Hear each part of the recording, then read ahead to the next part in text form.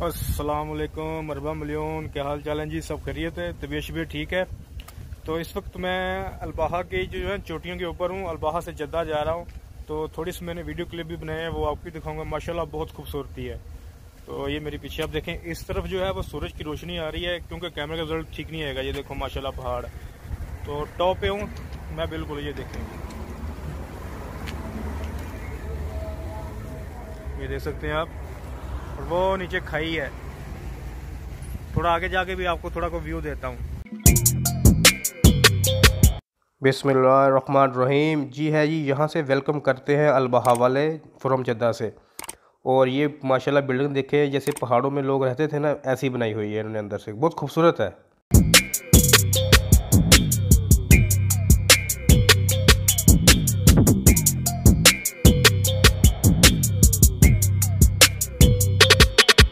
यूँ ही आप अलबाहा की तरफ़ बढ़ते हैं तो आगे बादल जो है वो रोड के ऊपर आ जाते हैं और देखने में लोगों के लिए यही लगता है कि ये धुंध पड़ी है। हालाँकि ये बादल है, धुंध नहीं है।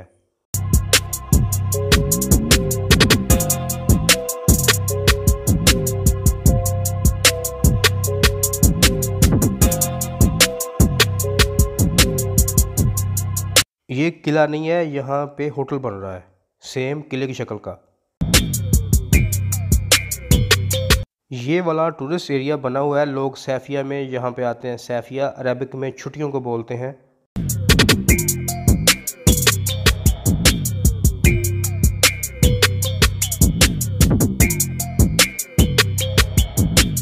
ये है अलबहा का गाँव।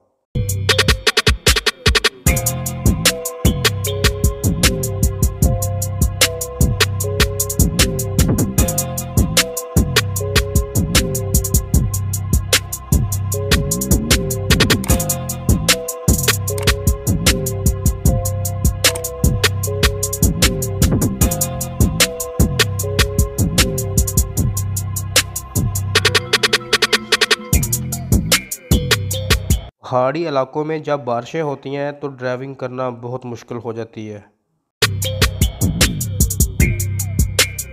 मुझे एक काम था अलबाहा में तो गूगल चाचा से मैंने मदद मांगी। गूगल चाचा मुझे पहाड़ की छत पे ले गया।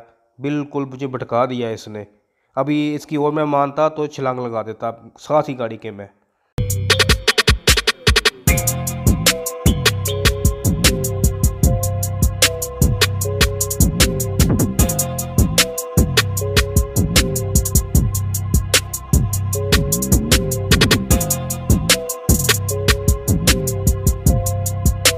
कैमरे में फिर भी थोड़ा साफ़ आ रहा है वैसे तो बिल्कुल नज़र नहीं आ रहा। धुंधला देखो भाई हजर चले हुए हैं।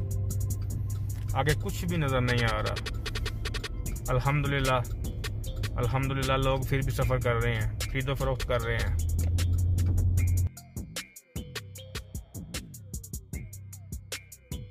सऊदी अरब के गाँव के जो रास्ते ऐसे बने हुए हैं यहाँ की बल्दिया ने माशाल्लाह अच्छी खूबसूरती लाइटिंग की हुई है। जितने भी ये आ, क्या नाम लेते हैं इनका बल्ब लगे हुए हैं। इनके साथ एलईडी लगी हुई हैं तो अच्छा रिज़ल्ट दे रही हैं। और हमारी रहायश है ऊपर की तरफ़। अभी मैं ऊपर की तरफ़ चलता हूँ, और थोड़ा डेंजरस एरिया है। ज़रा देख के बताना कि ड्राइविंग का मज़ा यहाँ पर आता है या नहीं आता।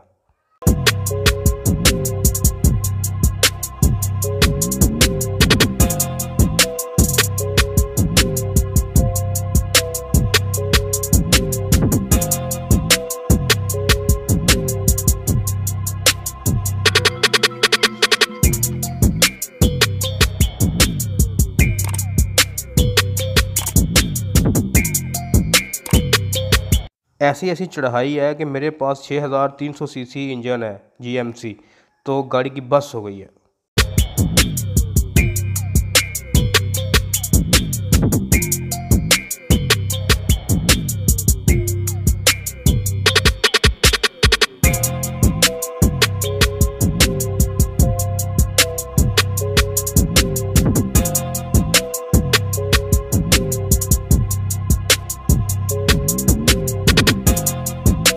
ये जो खैबर नुमा आपको ऊपर से गेट नज़र आ रहा है, यहाँ पे पार्क बना हुआ है और यहाँ से नीचे की ढलान शुरू होती है। बहुत ही ख़तरनाक मोड़ है। मैंने यहाँ पे कई एक्सीडेंट देखे आते जाते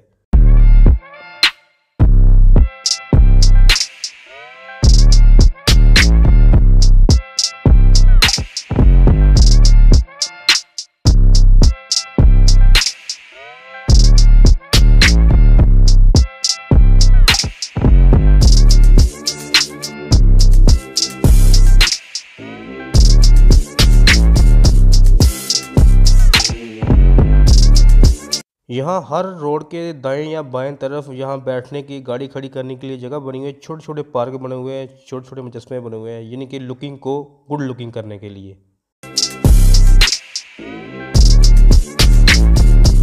अभी मैं अलबाहा से वापसी जद्दी की तरफ़ जा रहा हूँ, जो कि ये रास्ता है। खूबसूरत है, माशाल्लाह।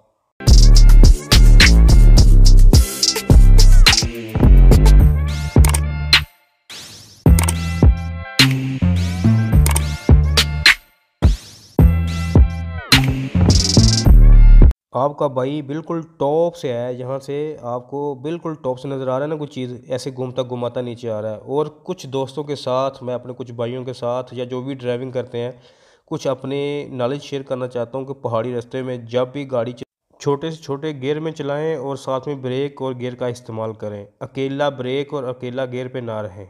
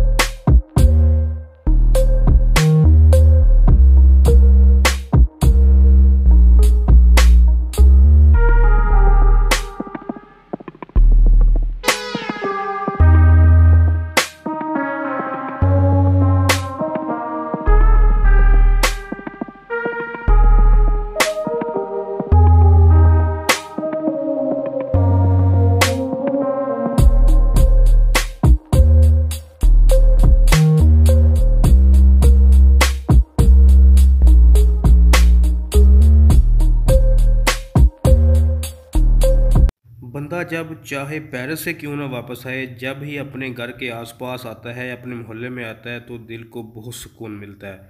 तो आँखें ठंडी हो जाती है, बंदा बेफिक्र हो जाता है। तो इसी तरह मेरे साथ हुआ। तो जब मैं आया अपने मोहल्ले में तो मुझे बहुत खुशी महसूस हुई। हालाँकि जद्दे में रश है, बहुत ज़्यादा हजूम है तो गाँव से आया था मैं, जो सऊदी अरब का गाँव था।